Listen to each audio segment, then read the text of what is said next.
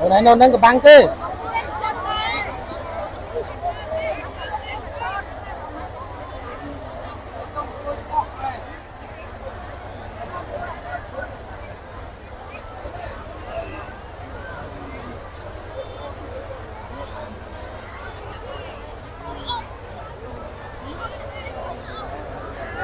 កំបាំងគេអ៊ំអើយអ៊ំអើយកំតាន់រុលតើរុនមួយមួយចាក់គេដេញចោលអស់គ្នាទៅគៀនមកចូលបាំងទៅបង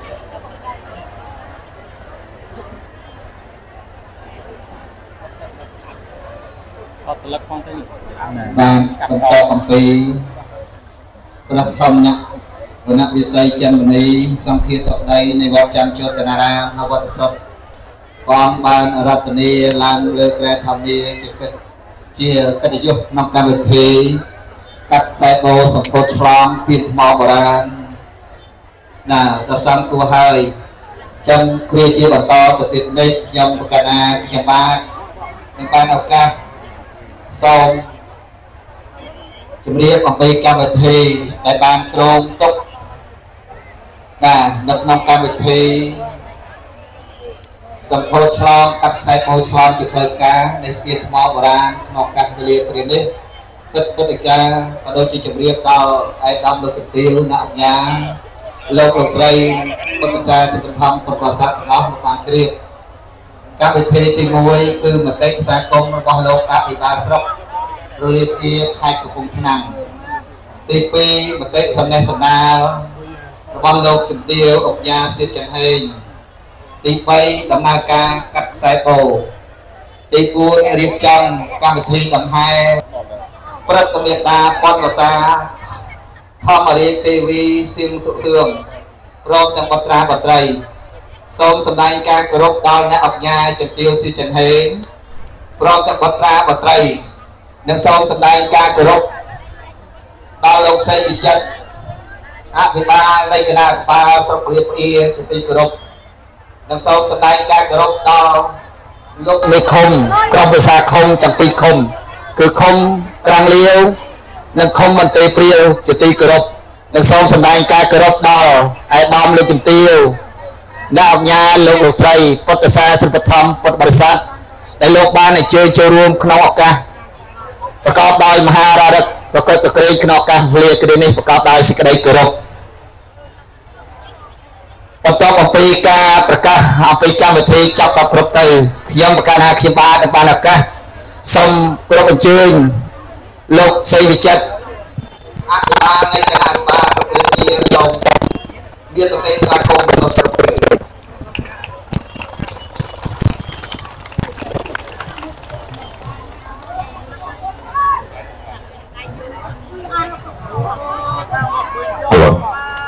បាទជាបឋ មខ្ញុំកណាខ្ញុំសូមក្រាបថ្វាយបង្គំព្រះអង្គគ្រប់ព្រះអង្គជាទីគោរពសក្ការៈដ៏ខ្ពង់ខ្ពស់និងសូមគោរពដល់លោកយាយព្រឹទ្ធមេដាពនសាធម្មរាជទេវីសៀងសុហឿនជាទីគោរពសូមគោរពដល់លោកជំទាវអង្គញាសៀងចន្ទហេងនិងសូមគោរពដល់ឯកឧត្តមលោកជំទាវលោកលោកស្រីពុទ្ធបរិស័ទទាំងអស់ដែលបានអញ្ជើញមកកាន់ទីអារាមវត្តនាឱកាសនេះ ដោយលោកអាចារ្យបានបញ្ជាក់ឲ្យថាថ្ងៃនេះជាថ្ងៃដ៏វិសេសវិសាលនៃពិធីបាទកាត់ខ្សែបូសម្ពោធស្ពានបាទស្ពានបុរាណដែលរៀបអំពីថ្មបាទដែលនៅខាងមុខយើងនេះស្រាប់បាទជាសមិទ្ធផលថ្មីមួយទៀតនៅក្នុងទីអារាមវត្តរបស់យើងដែលលោកលោកស្រីទាំងអស់ពុទ្ធបរិស័ទទាំងអស់បានឃើញថាការរីកចម្រើននៅក្នុង ទីអារាមវត្តនេះគឺដូចជាជប់អញ្ចឹងបាទឃើញឃើញច្រើនប្លែកជាបន្តបន្ទាប់រយៈពេលមួយខែទៅមួយខែបាទសមិទ្ធផលកើនហើយខ្ញុំកណាខ្ញុំក៏សូមថ្លែងអំណរគុណយ៉ាងជ្រាលជ្រៅបាទចំពោះពុទ្ធបរិស័ទបាទជាពិសេសលោកជំទាវអង្គញាដែលលោកតែងតែជួយបាទនៅក្នុងវត្តនេះមិនដូច មិនមែនតែក្នុងវត្តនេះទីក្នុងស្រុករលាភៀហើយនៅក្នុងប្រទេសកម្ពុជាគឺច្រើនណាស់អញ្ចឹងលោកលោកលោកទីអាញាតែងតែនាំនៅបាទលោកជំទាវអេដាមអង្គញាផ្សេងផ្សេងទៀតមកជួយខ្ញុំសូមគោរពថ្លែងអំណរគុណយ៉ាងជ្រាលជ្រៅបំផុតហើយនឹងគោរពជូនពរដល់លោកជំទាវនិងក្រុមគ្រួសារឯកឧត្តមលោកជំទាវទាំងអស់សូមមានសុខភាពល្អហើយនឹងសុខចម្រើនក្នុងឆ្នាំថ្មីនេះហើយ ខ្ញុំមិនមានអីច្រើនទេគឺការអរគុណហើយក៏សូមសំណូមពរដែរដល់ពុទ្ធបរិស័ទទាំងអស់ដែលអញ្ជើញមកកាន់ទីអារាមវត្តនេះបាទដោយកម្លាំងសន្តិសុខយើងច្រើនបាទហើយការរៀបចំសន្តិសុខសម្រាប់ចូលធ្វើឲ្យប៉ះពាល់ដល់អាចប៉ះពាល់ដល់បងប្អូនខ្លះបាទពីអារម្មណ៍ថាមានការបិទមានការបើកផ្លូវបាទការប្រតិយើងច្រើនណាស់ម្សិលមិញនេះ100,000អ្នកជាងបាទអញ្ចឹងហើយ កម្លាំងយើងក៏យើងប្រើច្រើនអញ្ចឹងមានការបិទដែរសូមអធិស្ឋានហើយខន្តីអភ័យទោសចំពោះការខុសទោសយត្រង់ណាបាទហើយជំរាបផងដែរថាម្សិលមិញនេះឯកឧត្តមអាបាខេតលោកបានអញ្ជើញមកជួយធ្វើចរាចរណ៍ឲ្យបងប្អូនទៀតលោកមិនបានចូលដល់ក្នុងវត្តទេប៉ុន្តែបានដើរខាងក្រៅបាទដើរតាមពីមុខវត្តទាំងលាវបាទជាប់ស្ទះពីនឹងមកដែលព្រះអង្គថា មិននឹកស្មានថាច្រើនទេបាទការពិតទៅការកថាប្រហែលជាប្រហែលជាពាក់កដាលថ្ងៃម្សិលមិញទេបាទបើម្សិលមិញគឺច្រើនមែនទែនបាទបាទគឺកម្លាំងទាំងអស់មិនបានសម្រាប់អីឲ្យចប់ចុងចប់ដើមបាទរហូតដល់យប់ទីមកម្លាំងការពារទៀតហើយទាំងអស់នេះដោយវះបារមីរបស់ព្រះអង្គដែរបាទជួយបាទធ្វើឲ្យជីវភាពប្រជាពលរដ្ឋនៅក្នុងតំបន់ សុខលាភីយើងនេះបាទដោយការលក់ដូរក៏ដូចជាលក់នៅផលិតផលផ្សេងផ្សេងឲ្យបានចំណូលអញ្ចឹងអរគុណណាស់ហើយអរគុណដល់ពុទ្ធបរិស័ទទាំងអស់ហើយសូមបន្តមកជួយកសាងនៅទីអារាមនេះហើយក៏ដូចជាជួយនៅសមិទ្ធផលផ្សេងផ្សេងទៀតនៅក្នុងមូលដ្ឋានសុខភាពរបស់ខ្ញុំបាទជំនួសមកឲ្យក្រុមប្រឹក្សាគណៈអភិបាលស្រុកបងប្អូនប្រជាពលរដ្ឋទាំងអស់ជាថ្មីម្ដងទៀតខ្ញុំសូម គោរពជូនពរដល់ញោមម៉ែហើយញោមម៉ែហើយនឹងលោកជំទាវអុកញ៉ាបាទអាយដាមលោកជំទាវទាំងអស់ពុទ្ធបរិស័ទទាំងអស់បាទសូមឲ្យមាននៅសុខភាពល្អហើយការត្រឡប់ទៅវិញសូមឲ្យសុខសុវត្ថិភាពខ្ញុំបាទសូមអរគុណនិងអរគុណបាទហើយជាបន្តខ្ញុំសូមការញាគោរពអញ្ជើញលោកជំទាវអញ្ញាមានប្រសាសន៍សម្ដែងសម្ដាល ហើយនឹងជម្រាបពីសមិទ្ធផលរបស់លោកជំទាវបាទសូមគោរពអញ្ជើញបាទ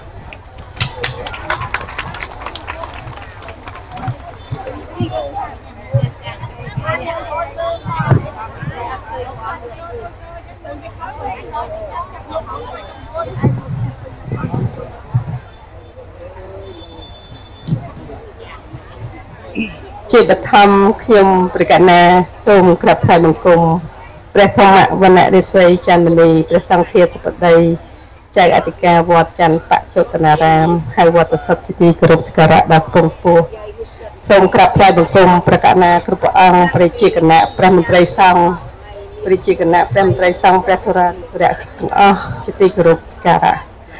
និងសូមគោរពលោកអភិបាលស្រុករលីផ្អៀ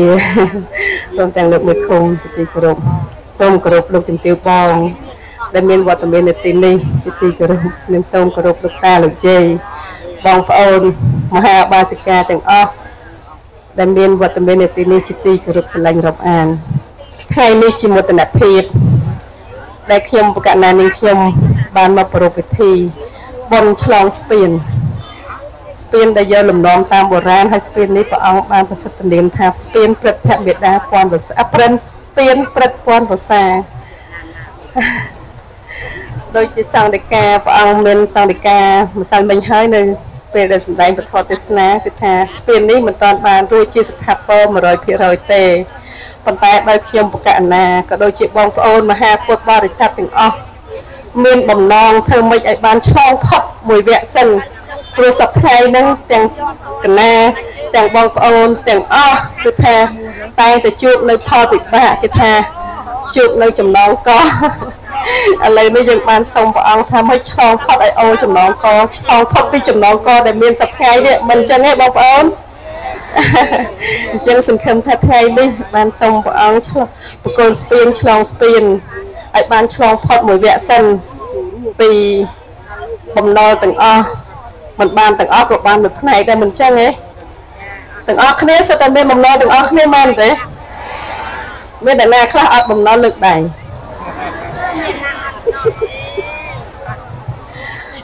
10ម៉ឺនដូចមានតែមួយទេ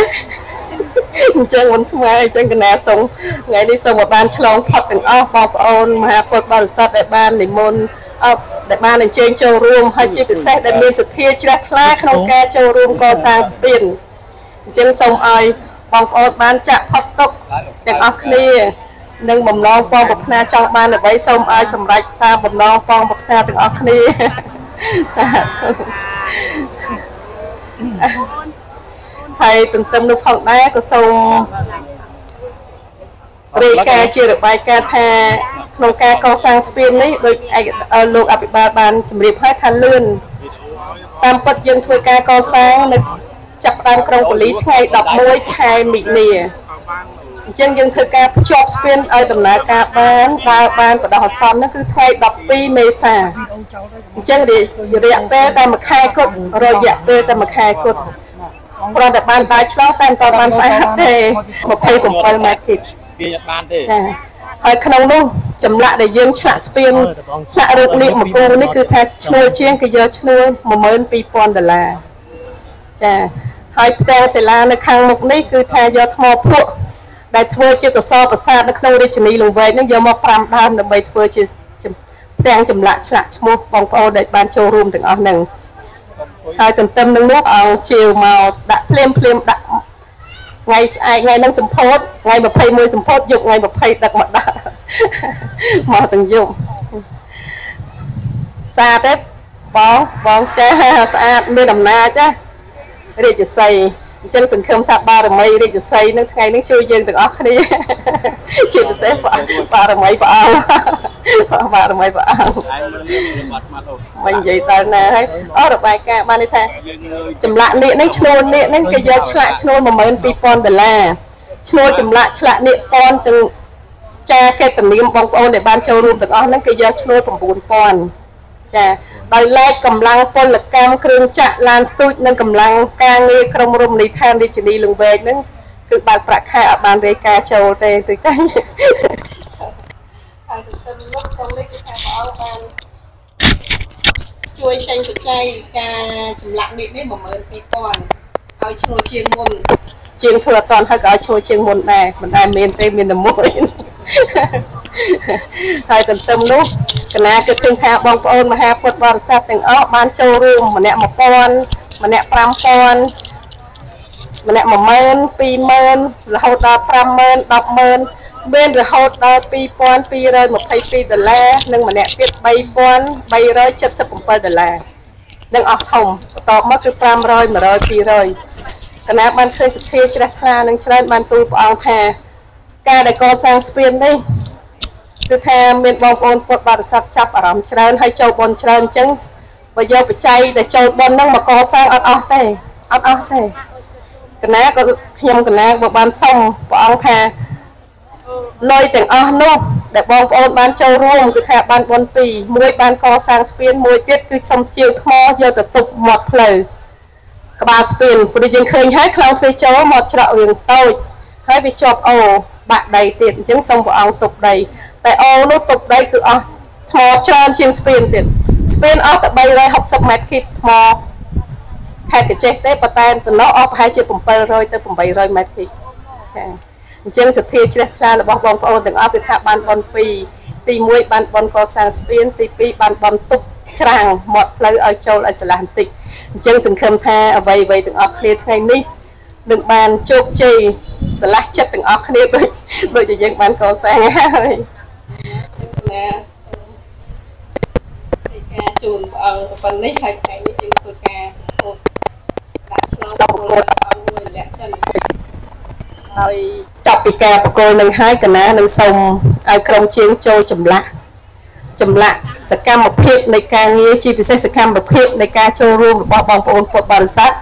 នៅនឹងជញ្ជាំងស្ពានសងខាងជញ្ជាំងស្ពានទាំងសងខាងហើយកន្លែងនេះគឺឆ្លាក់តែពនាមទេដូចថាបងប្អូនដែលបានចូលរួម1000ក្តី2000ក្តីក៏បានឆ្លាក់ពនាមនៅនឹងទាំងអស់តាមពិតថ្ងៃនេះត្រូវឆ្លាក់ឲ្យបានឃើញឈ្មោះខ្លះតែដល់ជាងធ្វើអត់តាន់ ដោយសារចូលឆ្នាំគាត់សម្រាប់ហូសថ្ងៃថ្ងៃនិយាយគ្នាថាឈប់ត្រឹមថ្ងៃ17 18ចូលធ្វើការដល់អញ្ចឹង19បានគាត់មកលកែលកោទៀតខ្លះដូចមុខមិនទាន់បាក់ហើមដល់អញ្ចឹងទៅរៀងរទេរទៅអញ្ចឹងបងប្អូនទាំងអស់បានឃើញពនាមខ្លួនឯងតែខែក្រោយសង្ឃឹមថានឹងបានឃើញឈ្មោះនៅលើចរិតនេះទាំងអស់មែនជាងគណៈសូមរាយការណ៍ប្រកាសជូនព្រះអង្គប៉ុណ្ណឹងជាចុងក្រោយ ដោយអំណាចបុណ្យកុសលដែលខ្ញុំបកណានាងខ្ញុំនិងក្រុមគ្រួសារបានសាងកន្លងមកចំពោះព្រះពុទ្ធសាសនា និងសង្គមជាតិនាងខ្ញុំបកណានិងក្រុមគ្រួសារសូមលើកបុណ្យមហាកុសលទាំងអស់ថ្វាយប្រគេនជូនចំពោះព្រះធម្មវណ្ណរិស័យច័ន្ទមនីព្រះសង្ឃាធិបតីព្រះចៅអធិការវត្តច័ន្ទបច្ចុតនារាមហៅវត្តលោកតាសុទ្ធសូមព្រះអង្គមានបរិសុខមានសុខព្រះសុខភាពល្អ ប្រាជ្ញាឆ្លៀសវៃនិងមានសុខដុមនមនិកម្មក្នុងព្រះភ្នោះដើម្បីបន្តបដិបត្តិថែរក្សាការពារព្រះពុទ្ធសាសនា និងដឹកនាំពុទ្ធបរិស័ទបំពេញកុសលបន់ថ្វាយទានបំពេញកុសលតាមព្រះពុទ្ធសាសនាឲ្យបានគ្រប់5000ប្រវត្តិសាស្ត្រនិងសូមនិងសូមប្រទានពរដល់បកណាគ្រប់ព្រះអង្គដែលជាព្រះមន្ត្រីសង្ឃប្រជាគណៈ ព្រះចៅអធិការសូមព្រះអង្គគំមានសេចក្តីសុខក្នុងប្រព្រឹត្តដែរសូមមេត្តាបុះឲ្យកុំសឹកនិយាយលេងព្រះអង្គឲ្យបានសើចនិងសូមជូនពរលោកអភិបាលស្រុក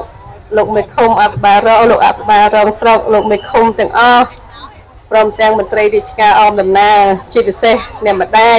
បានមិញអត់បានគ្រប់អ្នកម្ដាយសូមទោសអ្នកម្ដាយ អ្នកម្ដាយនិងលោកយាយលោកតាបងប្អូនអ៊ំពូមីងមាទាំងអស់ជាពិសេសលោកមន្ត្រីបងទាំងអស់ដែលបានអញ្ជើញចូលរួម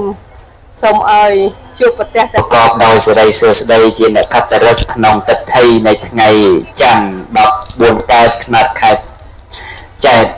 ឆ្នាំរោងឆោះស័ក នៅរំទាវអង្គញានាងវិសាខាកមហាបាការពុទ្ធសាសនិកធម៌បានប្រពឡើងនៅពិធីវេនិងសម្ពោធដាក់ឲ្យប្រើប្រាស់នៅស្ពានខ្សែឆ្លងកាត់អូចំណងកដែលសាងឡើងពីរចនាបថថ្មបាយក្រៀមនិងថ្មផ្សេងផ្សេងដាក់ឲ្យប្រើប្រាស់ជាសាធារណប្រយោជន៍ ទិសដៅបំរើឲ្យវិស័យពុទ្ធសាសនា និងវិស័យរបស់សាធារណប្រយោជន៍តម្កល់ទុកក្នុងទឹកដីនៃភូមិប៉ាតឡាងឃុំក្រាំងលាស្រុកលៀបអៀខេត្តកំពង់ឆ្នាំងពោលតាមពិតទៅស្ពាននេះបើថាធ្វើសម្រាប់វត្តក៏បានតែថាឲ្យមែនតែនទៅមិនសម្រាប់វត្តក៏ថាបានព្រោះដោយសារតែដីវត្តយើងមើលទៅឃើញត្រឹមផ្លាកនេះបន្ទាប់មកកន្លែងនេះ ជាផ្លូវរបស់សាធារណៈ អូននេះជាប្រយោជន៍របស់សាធារណៈផុតពីអូននេះបានជារបស់វត្តអញ្ចឹងស្ពាននេះវាជាស្ពានមួយដែលឆ្លងកាត់ចន្លោះវត្តនិងវត្តបំរើឲ្យវិស័យសាធារណៈមិនបំមិនបំរើឲ្យសម្រាប់តែវិស័យអឺវត្តអារាមមួយទេគឺជាសម្បត្តិរបស់រដ្ឋជាសម្បត្តិសាធារណៈហើយ សូមក្នុងនាមខ្ញុំកណ្ដាលអាត្មាជាអ្នកគ្រប់គ្រងមើលការខុសត្រូវក្នុងទីនេះក៏សូមសម្ដែងនៅក្តីសោមនស្សរីករាយចំពោះសមិទ្ធផលថ្មី ក្នុងចំណោមសមិទ្ធផលទាំង30មុខដែលបានកសាងហើយនិងរៀបចំកសាងហើយជាបន្តបន្ទាប់នេះជាសមិទ្ធផលមួយថ្មីឡើងបញ្ជាក់អំពីអឺ គុណតម្លៃនៃសាមគ្គីភាពសុខសន្តិភាពរបស់សង្គមកាលណាសង្គមទទួលបាននៅសុខសន្តិភាពទទួលបាននៅស្ថិរភាពទាំងផ្នែកនយោបាយសេដ្ឋកិច្ចការអភិវឌ្ឍតាមវិស័យទាំងអស់គឺរីកលូតលាស់ទៅឥតឈប់ឈរជាលំដាប់ម្យ៉ាងវិញទៀតជួសមុខឲ្យអញ្ញាធមមូលដ្ឋានជួសមុខឲ្យ អាចារ្យគណៈកម្មការក៏ដូចជាគណៈវិជាការឯកភាពឃុំស្រុកសូមសម្ដែងនៅសេចក្តីអំណរអរគុណដល់ប្រជាពុទ្ធបរិស័ទទាំងអស់ដែលបានចូលរួមខ្វល់ខ្វាយខ្នះខ្នែងក្នុងការជួយជាកម្លាំងស្ថិរទឹកចិត្តក្នុងការកសាងអភិវឌ្ឍតំបន់នេះឲ្យក្លាយទៅជាតំបន់ពុទ្ធសាសនាបែបវិស័យទេសចរក្នុងថ្ងៃខាងមុខមួយវិញទៀតសោក៏សូមខន្តីអធិស្ឋានអត់ទោសចំពោះ អឺអស់លោកគ្រប់លំដាប់ថ្នាក់ទាំងអស់ដែលបានអញ្ជើញមកក្នុងកម្មវិធីថ្ងៃនេះនឹងម្សិលមិញមិនដឹងទេណាតែបើឆ្នាំនេះគឺយកចិត្តទុកដាក់មែនតើគ្រាន់តែម៉ោង9ដឹងរបាយការណ៍មិនស្រួលម៉ោង10ម៉ោង11គណៈបាក់ខេត្តទៅចេះឡាចូលខ្លួនឯងតែនេះក៏សូមថ្លែងណអរគុណនិងផ្ដាំផ្ញើ ការនឹករលឹកការយកចិត្តទុកដាក់របស់គណៈជាការឯកភាពខេត្តកំពង់ឆ្នាំងទាំងមន្ត្រីកងកម្លាំងប្រដាប់អាវុធទាំង3ដែលបានពុះពៀអស់កម្លាំងកាយចិត្តបំរើឲ្យស្មារតីវិជាពលរដ្ឋគាត់បានស្រួលនិងសប្បាយរីករាយហើយអ្វីដែលខ្ញុំកណ្ដាលអាត្មាណែមិនសូវសោកស្ដាយនោះគឺថា កាលដែលយើងចុះទៅតាមបណ្ដាខេត្តមួយចំនួនក្នុងប្រទេសប្រជាពលរដ្ឋមានច្រើនដែរវត្តខ្លះក៏ឡើងដល់100000ដល់60000 80000 70000 50000 40000 30000មានតាមកន្លែងដែរប៉ុន្តែពុទ្ធបរិស័ទទាំងអស់នោះมันបានជួបខ្ញុំកណ្ដាលអាត្មាគ្រប់គ្នាទេប៉ុន្តែម្សិលមិញ ជាង160,000ក្នុងត្រឹមម៉ោង5ហ្នឹងគឺជួបសឹងទាំងអស់គ្នា បានជួបសឹងទាំងអស់គ្នានៅតែអ្នកថ្ងៃនេះទេដែលមិនទាន់បានហើយនឹងអ្នកមកដល់យប់ជ្រៅពេកប្រយុទ្ធមិញម៉ោង2ដែលមានឡានចូលហើយម៉ោង2ល្ខោនចប់ម៉ោង2ដល់1ជាងម៉ោង2នៅមានឡានចូលមក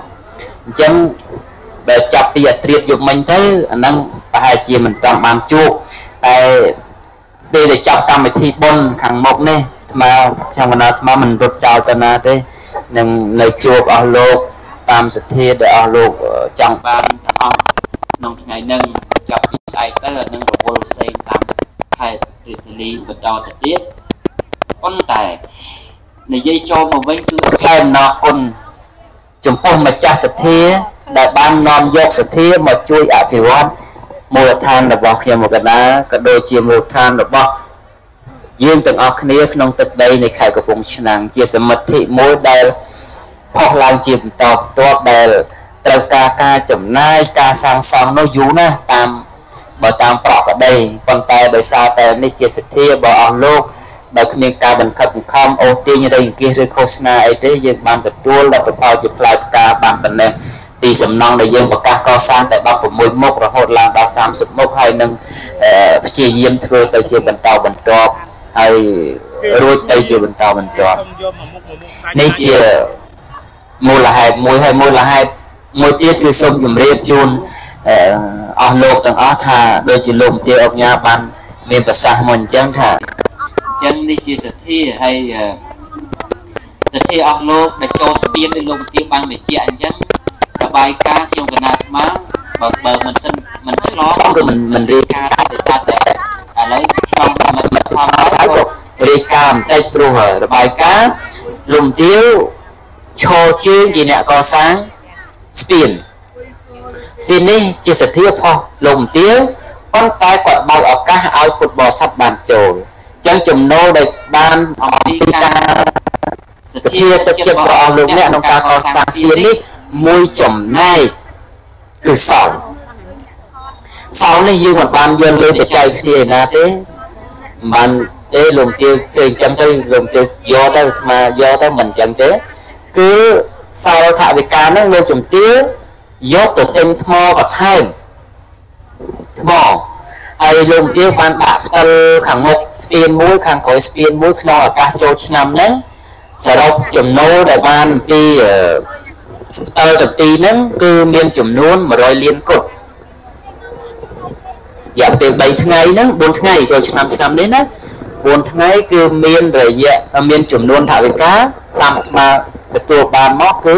100លានគុតអញ្ចឹង100លានគុតនេះលើសលើសតិចតួចគឺអត់បានយកថវិកាហ្នឹងទៅចំណាយអ្វីផ្សេងទេ គឺថវិកាហ្នឹងត្រៀមចំណាយ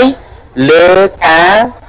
បង្គ្រប់ក្នុងការកកសាងស្ពាននេះឲ្យហើយជាស្ថាពរព្រោះឥឡូវនេះដាក់ឲ្យប្រើប្រាស់ដាក់ឲ្យដំណើរការប៉ុន្តែមិនទាន់រួចជាស្ថាពរនៅឡើយទេនៅសល់ប្រមាណជា30%ទៀតព្រោះចម្លាក់នេះមិនទាន់ហើយទេនៅប្រើក្បាច់ស្ពាន់ដើម្បីគ្រីបពីលើនេះនៅមានមហោគ្រីបពីលើនៅមានសវ៉ាកគ្រីបពីមុខ កន្លែងដាក់តោក៏មិនទាន់បានរៀបថ្មឲ្យស្រួលពួលហើយជញ្ជាំងស្ពានក៏មិនទាន់បានកាត់ពម្រឹងហើយមិនបានបញ្ចុះក្បាច់នៅឡើយចឹងនៅសល់30 30%ទៀតសូម្បីតែតំណស្ពានក៏មិនទាន់បានពិចិត្រនៅឡើយដែរតែពិតក្រានស្មើនឹងព្រំបានពីលើទេតែតំណស្ពានមិនទាន់បានពិចិត្រទេអញ្ចឹងថវិកា100លាននេះបើបុកទៅលើស្ពានវិញមិនគ្រាន់ទៀតមិនគ្រាន់ទៀតហើយនៅសល់ ដែលអស់លោកចូលជាបន្តបន្តហ្នឹងគឺតាមរយៈលោកជំទាវគឺសល់ដើម្បីរៀបអឺថ្មរៀបថ្មហ្នឹងគឺរៀបឲ្យពង្រីកផ្លូវព្រោះពេលដែលចាប់កម្មវិធីបននេះគឺជាងដែលកសាងខ្លងទ្វារនឹងចុះមកឲ្យខ្លងទ្វារខាងមុខហ្នឹងហើយខ្លងទ្វារខាងមុខហ្នឹងមានកម្ពស់ដល់ទៅ23ម៉ែត្រលោកដល់ដល់23ម៉ែត្រហើយគ្រឿងផ្សំក៏ថ្លៃ ប៉ុន្តែជាសមិទ្ធផលដែលបំរើឲ្យវិស័យពុទ្ធសាសនានិងសាធារណប្រយោជន៍សិក្សាលើកកម្ពស់ហេដ្ឋារចនាសម្ព័ន្ធក្នុងមូលដ្ឋានជាពិសេសបង្ហាញពីកម្លាំងសាមគ្គីរបស់ប្រជាពលរដ្ឋសាស្ត្រហើយនៅសល់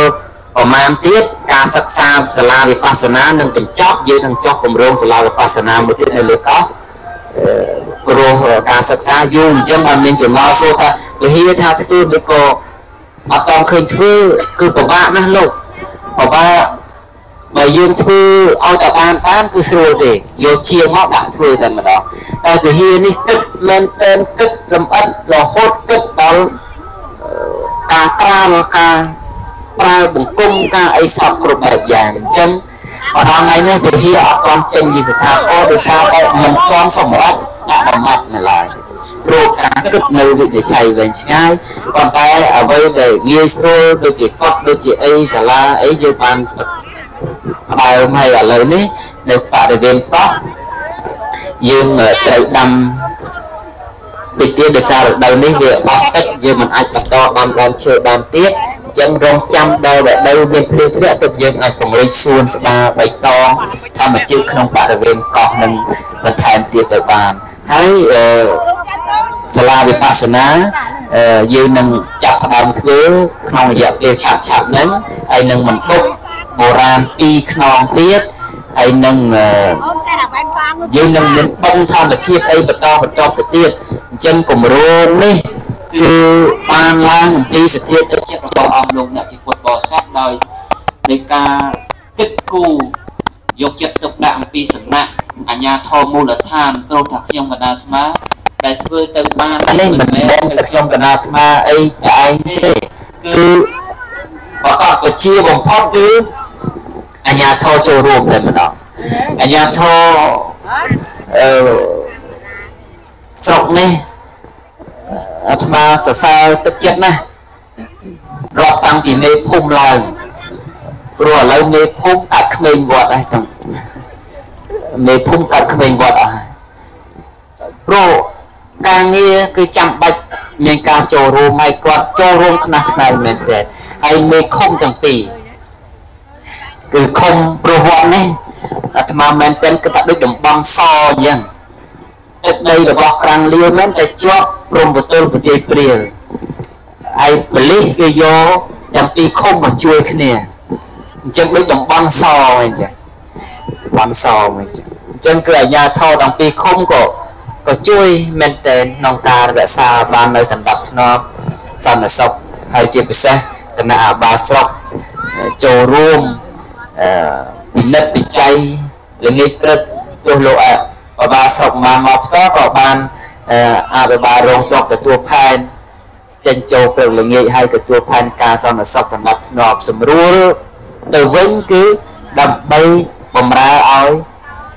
សវត្ថភាពរបស់ប្រជាពលរដ្ឋដែលបានជែកមកទេព្រោះការដែលមកទីនេះទីមួយមិនមានការបង្ខិតបង្ខំទេមាននេះមានណាដើរទៅបង្ខំតាមផ្ទះគាត់ទេនឹងហើយសម្បត្តិ គ្រប់សារគឺទាំងអស់សូមអរគុណនិងអរគុណខ្ញុំកណាសូមអបីឃើញតែទឹកដូចធំចូលធំជាងគេមានតែម្នាក់នៅបាត់ដំបង3377ភ្លេចគិតពីព្រះអង្គចូលរួមទិញថ្ម20000ដុល្លារទៀតចិត្តណាណាសុំខន្តីភ័យទៅព្រះអង្គចា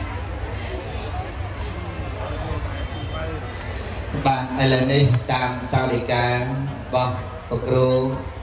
ធម្មវណ្ណៈវិស័យចេតមនីសង្ឃាតំដីវត្តច័ន្ទជោតនារាមព្រះអង្គអនុញ្ញាតឲ្យខ្ញុំកណាថ្វាយបង្គំនៃខ្ញុំព្រះករណាព្រះដ៏មានព្រះពាអង្គដល់ព្រះអង្គជាព្រះអរហន្ត នៅញ៉ៃយថ្វាយព្រះពុទ្ធហើយប្រពៃចំពោះព្រះអង្គអាយាណាប្រដៅព្រះអង្គឡាយព្រះសហង្សាយ៉ាងមានសង្វាសទ្ធាត្រង់ត្រង់គឺសមាធិបញ្ញានិងវិមន្តញាណកិលេសគ្មាន ជាបញ្ញខេតាចិនត្រូវការជាកុសលខ្ញុំសូមដល់ព្រះរាយបង្គោជាបុត្រព្រះទេសពលជាមង្គលដល់សំសន្តិយ៉ាងពេតើតយ៉ាងពេបបិទ្ធសង្ឃដ៏មានសេរីព្រះអង្គជាទងជ័យ និងជាស្រែបុណ្យខ្ញុំបកករណាទាំងឡាយមានសទ្ធាជ្រះថ្លាបានចាត់ចែងហើយក្នុងការកសាងនៅស្ពានថ្មបុរាណនេះព្រមទាំងផ្កាប្រាក់ខ្ញុំប្រកាសបានមកដោយធម៌ កើតឡើងដោយធម៌ខ្ញុំប្រកាសណាទាំងឡាយសូមទូលមហាកុសលនេះជូនដល់លោកអ្នកដែលមានគុណទាំងឡាយមានមេត្តាបៃតាគ្រូឧបជ្រាយាចាញាតិក្នុងសង្សារវត្តហើយខ្ញុំប្រកាសរ តោសម្មាសម្ពុទ្ធសនមងអរតោសម្មាសម្ពុទ្ធសនមោតាសពកវតោសម្ពុទ្ធសម្ពុទ្ធមនោសាច sampun dasang pahutuhi manusia jaman kali ni acan dayong akan mana sata mampu emang kelemah demang asewan aja pilih emang kone Sesewana koi kia cepat Aja mang etam eh, mang Kelemot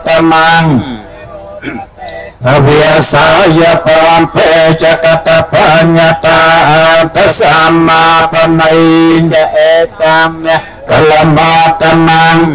សេ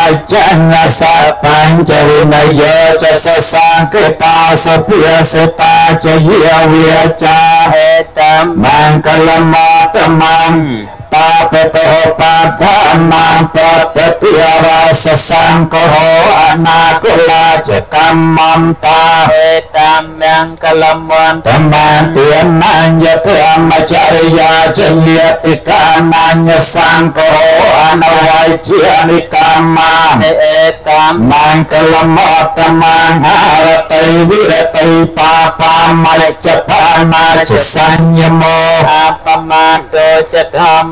ម្មហេតាមមង្គលមតមង្ហរតិវិរតិបាបាមច្ចបានាចសញ្ញមោអបមាតោចធម្មមេសអេតាមបាងកលមតបាងគិរវោចមិវាតោយសន្តតៃចកតញ្ញតាកាលេនធម្មសវណងអេតាមមង្គលមតមង្គនយសោវចសតាសមបានាញ្ចតាសនង្កាលេនធម្មសាគ្យចាហេតមង្គលមតមង្គបោចកម្មចយាញ្ញរិយសាចានទាសនៈ ហោបាសកពេយេតិអ្នកឡាយ៉ាងបុរសទាំងស្ត្រីនោះចូលបាននៅប្រយោជន៍បាននៅសេចក្តីសុខចូលចម្រើនក្នុងព្រះពុទ្ធសាសនាកុំឲ្យមានរោគឲ្យបាននៅសេចក្តីសុខព្រមទាំងញាតិទាំងឡាយគ្រប់គ្នាសាធុសាធុសា